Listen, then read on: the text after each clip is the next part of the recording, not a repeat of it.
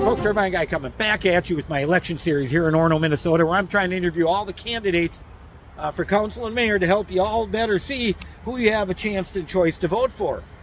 Now, today's candidate is Orono Mayor Walsh. Mayor, wh- wh- where'd he go? He's not. I, I could have sworn. No, no.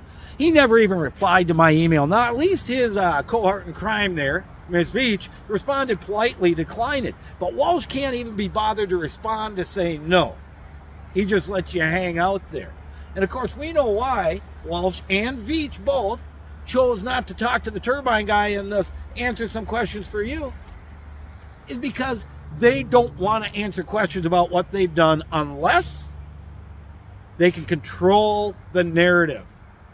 And that's what they're not going to be able to do with the turbine guy. Just like with uh, Bob Thunheim, who's running for mayor. First question I asked him was a tough question. What what was happening up at Orono schools that got everybody so upset?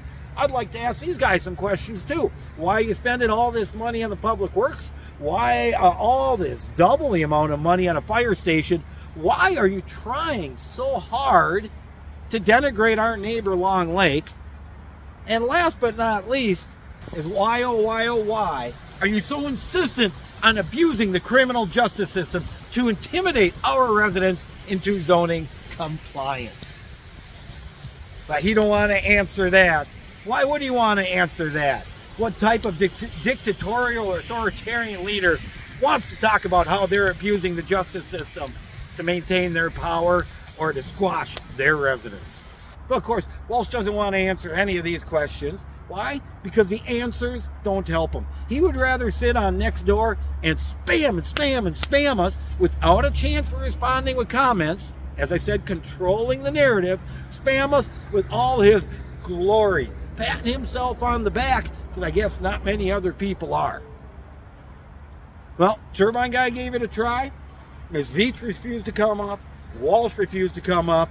None of you get to hear the real answers you want to hear. Why? Because they're too chicken. Chicken to talk to the turbine guy.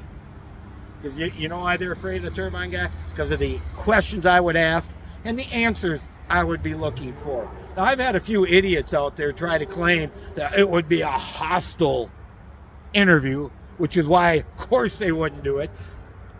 The only thing that would be hostile would be the questions that they might have to answer. And they don't want to have to answer those. They don't want to have to stand behind their own decisions.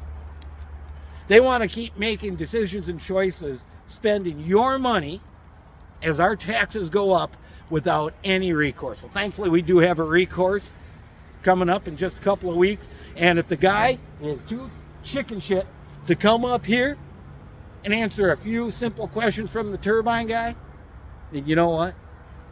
He's too chicken shit to be mayor. Turbine guy, signing off.